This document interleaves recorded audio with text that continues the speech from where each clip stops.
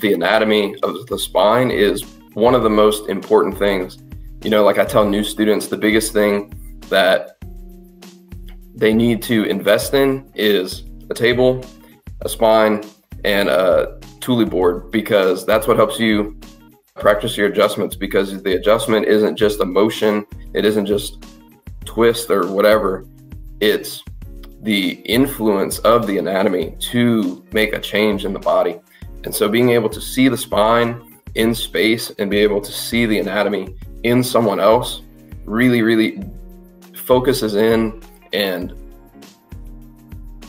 refines your attention, intention.